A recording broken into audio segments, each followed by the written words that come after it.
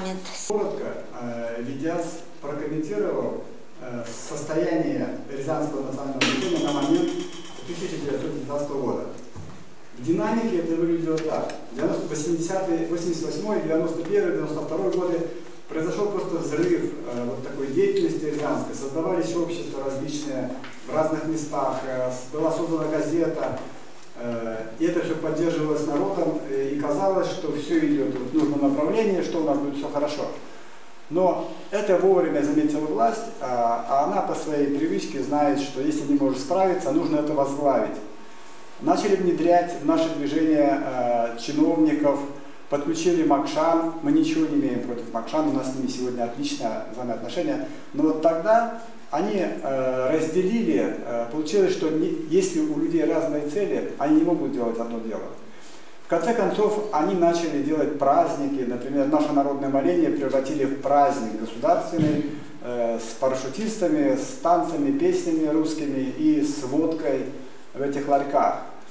К сожалению, вот тот всплеск, который отозвался волной и за границей, в частности в Эстонии, Финляндии, э, он тоже был сначала очень мощный, а потом стал, подчиняясь законам вот этим чиновничьим, сужаться до фольклорного. То есть э, не, было задачи по факту помочь народу в прямом смысле, ну, во-первых, потому что не хотели ссориться с э, российским руководством, это одна из причин. Во-вторых, это как-то, наверное, всех устраивало. Ну, собирали все равно лучше, чем ничего. Э, Нас, ирзян, э, на эти европейские форумы не пускали, вы про это знаете. Э, Мы были, пытались и в Венгрию попасть, пытались и в Эстонию попасть на конгресс.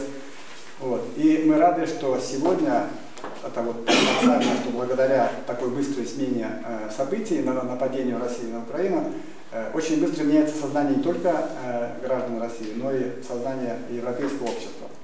Что мы имели а, наконец 19, на, на, на 19 год? Мы, у нас оставалась только газета «Эрзень Мастер», которой руководили э, э, Нуян Видяс и Шуматян Пергуш, и фонд спасения эрзянского языка, эрзянского языка. Но ситуация была уже настолько угрожающей, что старейшины понимали, что еще немного, и у нас вообще ничего не останется. И тогда, там видео была запись, что э, Совет старейшин пошел на такой действительно беспрецедентный шаг. Они выбрали Инязором гражданина Украины. Их начали обвинять в этом, что это вот э, не, не гражданин Российской Федерации. Они отвечали, что это не Инязор Российской Федерации, это не азиатского народа, азиане живут всюду. И вот я буду говорить о втором этапе, вот после, что случилось после этого. Сразу после народного моления э, события подтвердили, что Совет старейшин был абсолютно прав. Потому что в очень короткое время а, осуществился рейдерский захват сначала а, фонда спасения ирландского языка, он был переименован, а, фонд спасения этнокультуры какой-то непонятный, Э, отняли, отобрали рейдерские газету «Эрзень Мастер», а, последнее ее было действие Рязанское, они разместили э, интервью Инязора в своей газете и интервью в сокращенном виде.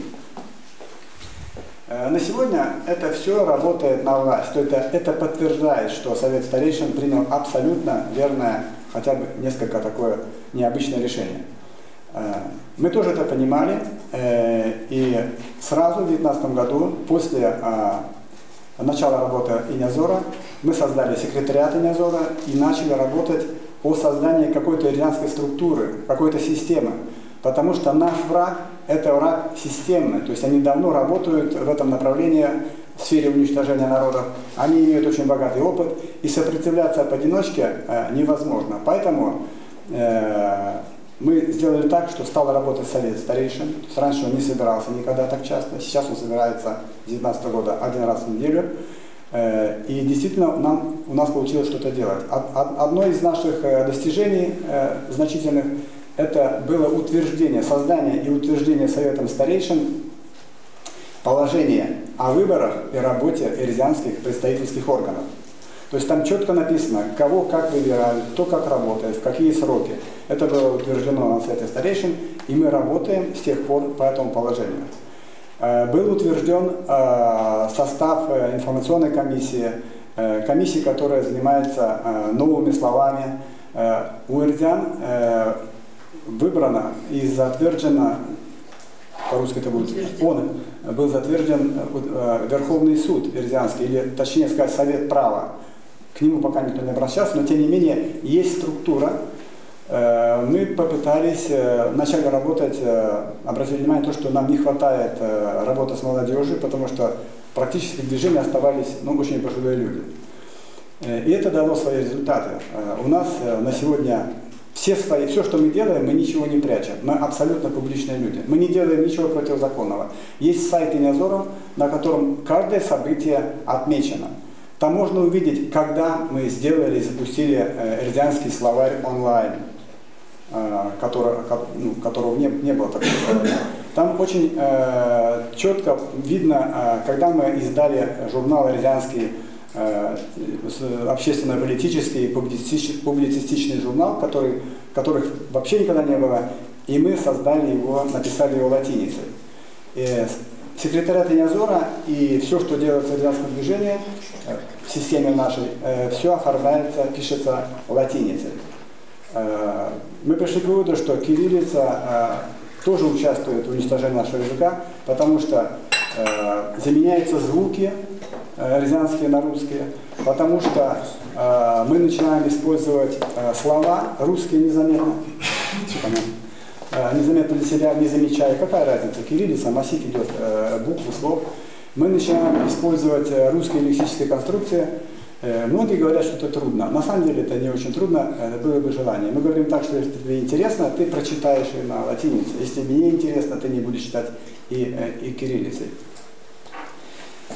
Э, согласно, согласно положению, э, мы должны были провести э, съезд в России в этом году. Но я уже говорил вам, что это было невозможно, что, что это... Мы, мы начали этот процесс, но письма с места, звонки сказали, что это невозможно. Тогда было указание, тогда вышел указ Инязора, опять же, согласно положению, по которому а, съезд передвигается во времени, а полномочия съезда передаются Совету старейшин. То есть Совет старейшин работ, имеет права э, съезда. Но он тоже должен был быть переизбран. Должен был переизбран. Э, и мы назначили выборы в январе месяце. Но российская агрессия, во-первых, и действия властей, во-вторых, э, показали нам еще раз, что это тоже невозможно.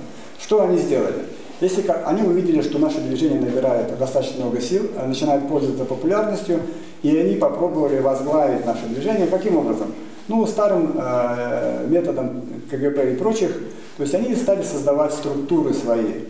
Э, они взяли, собрали в библиотеке имени Пушкина э, людей, 20 человек, это были ирзяне, безусловно, назвали их советом старейшин. Этот совет старейшин выбрал такого альтернативного Инязора, но, как они говорят, на время народное моление.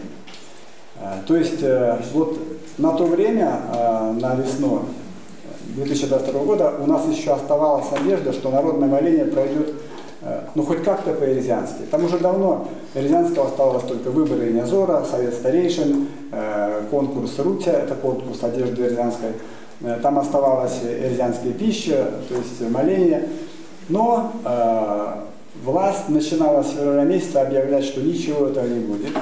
Абсолютно циничное выступление, э, хамское, абсолютно в таком э, российском духе Татьяны Лариной, когда она сказала, что мы сами все проведем, вы стойте, смотрите, а вот вы, старики, там, обращаясь к нашим старейшинам, э, уважаемым людям, вы стойте там в кустах, там, мы без вас обойдемся, есть кому что делать.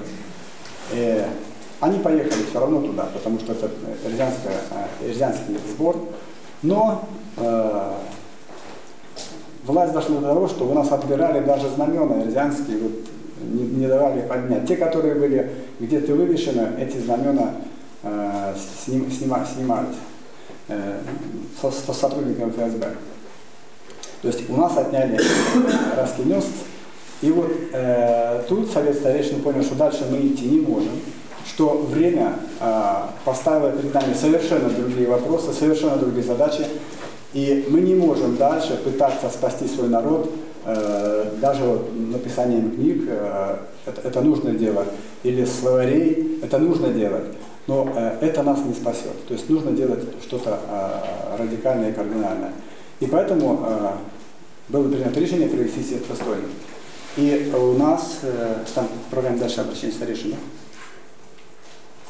да? И вот э, Совет старейшин сказал, мы проводим Медианский съезд. Да, мы проводим его без выборов.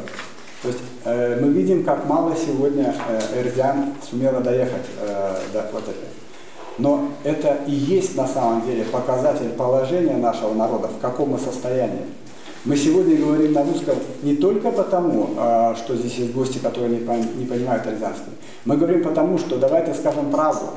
Среди эрзиан почти никого не осталось, кто может вести разговор вот на сегодняшнем уровне на эрзианском языке. У меня есть телефоны почти всех учителей эрзианского языка Мордовии. И э, в этом году нет, а в прошлых годах я звонил им, разговаривал с ними, с учителями эрзианского языка. Они с охотой соглашались говорить. Но они выдерживают полторы-две минуты. И потом они начинают использовать сначала русские слова одиночные, и потом переходят на русский язык. Потому что когда разговор идет о том, что подоить корову и накрыть на стол, они еще могут говорить что-то. Но то, когда ты говоришь о каких-то те- темах научных, культурных, образовательных, э, они не могут это говорить. Чему они могут научить детей? Это правда. Все наши обращения открыть к власти, открыть там гимназию резидентскую, они э, натыкались как на глухую стену, они на это никогда не пойдут. Почему? Потому что задача московской власти одна. Потому что они торопятся уничтожить наши народы. Потому что только национальные республики сегодня являются угрозой существования московской власти. Больше их ничего не беспокоит. Если они превратят всех вот в обычное такое рядовое серое э, э, какое-то ве- вещество, у них будут развязаны руки. Не случайно сегодня мы видим э, центр сопротивления э, не в Рязанской области, не, не в Владимирской области, а на Кавказе. Выступают кумыки, не, не русские. Поэтому э, Совет старейшин принял провести, поручил, э, принял решение провести съезд, и он обратился к нам, э, к съезду, а, виноват, извините. Я немножко волнуюсь, потому что Понятно, почему волнуюсь, плюс тут 3-4 дня мы практически не спали, многие не приехали, дорога виноват. Так вот, э, многие не смогли доехать. Но те, которые сегодня приехали, имеют право представлять ирянский народ и имеют право говорить от имени ирянского народа. Почему? Потому что когда тебя выбирают на Мордовский съезд Саранск, посидеть, погреться там в кресле, выпить в буфете коньяку, это одно. Когда тебя приглашают покататься а, по Волге, Волга-река Мира, э, и поплясать там где-то там на палубах, это тоже э, совсем э, то есть безопасно и весело. Да? И многие на это э, поддаются, потому что многие считают, что национальная работа, вот она в том и заключается. Спеть, плясать, покататься на пароходе, сделать фотографию с Тултаевым э, в народном костюме, и ты уже вот э, национальный какой-то там э, работник.